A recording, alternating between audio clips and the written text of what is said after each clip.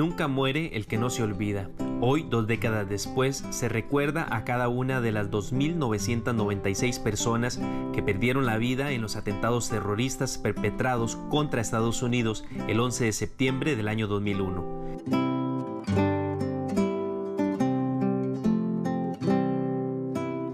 Para Carla Pericón, la única tica sobreviviente, el despertar hoy estuvo lleno de emociones y sentimientos encontrados. Desde muy temprano se preparó para asistir a la ceremonia que año tras año se realiza en honor a las víctimas.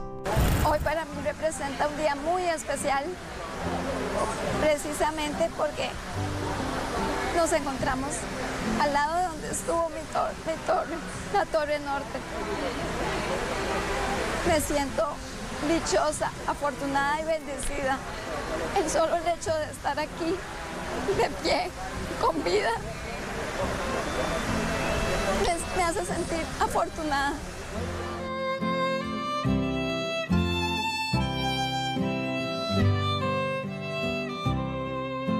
Campanadas y un minuto de silencio marcaron la hora en que los aviones golpearon las torres y su caída.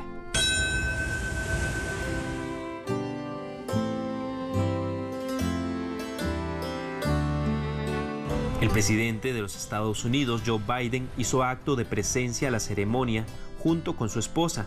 Además, asistieron los expresidentes demócratas Barack Obama y Bill Clinton.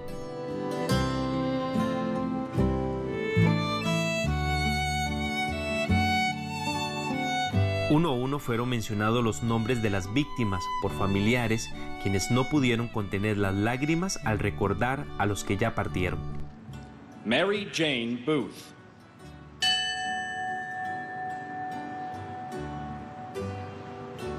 Donna M. Bowen. La zona cero en el Bajo Manhattan, a diferencia de hace dos décadas, donde el terror y la muerte se podía sentir en el aire, hoy se vio inundada de paz y mucha esperanza.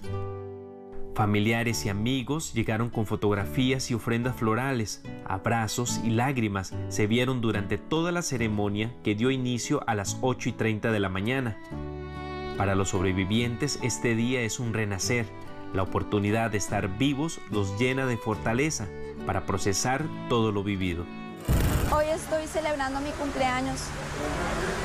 Considero que la oportunidad que me dio Dios de salir con vida y el estar acá de pie, volví a nacer ese día.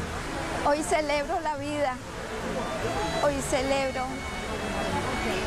de verdad que Dios tiene algo bello, grande y maravilloso conmigo. Tiene un propósito en mi vida y que solamente por Él estoy hoy aquí. Hoy Estados Unidos y el mundo han dicho una vez más, nunca olvidaremos.